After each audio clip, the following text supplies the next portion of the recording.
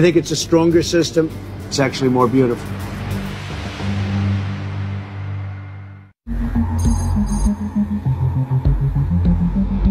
In San Antonio, the team's finishing up its review of possible designs for interiors on this new stately icon.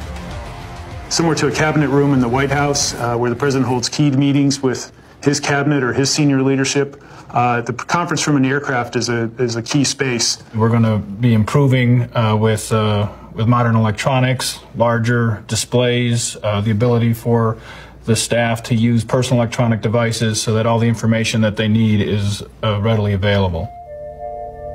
As a proxy for the cabinet room in the West Wing, Air Force One's conference room will get a dramatic facelift. And this is what it could look like.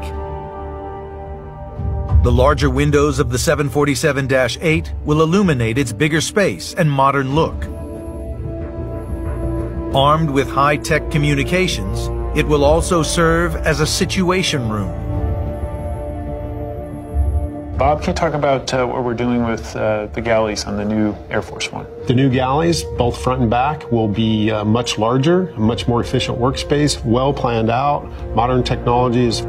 Expanding on these restricted galleys will be two big kitchen areas, almost double the size. With designs like this, Modeled on the very latest VIP luxury jets, they'll have all the equipment needed, not just to reheat prepared meals, but also to cook fresh food.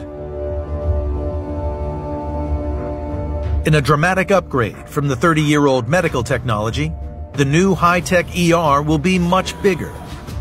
3D modeling envisions a surgical table with equipment able to handle dire medical emergencies, from strokes to assassination attempts cutting-edge health monitors, and a large pharmacy will deal with practically any health emergency facing the president, his guests, or staff.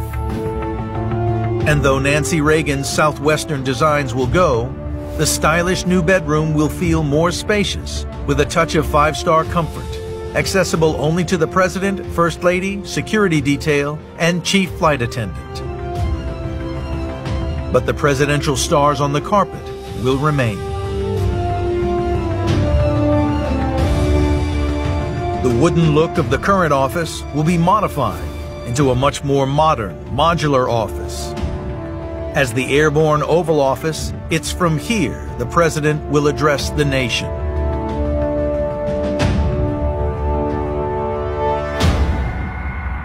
But the most visible transformation could be to the exterior.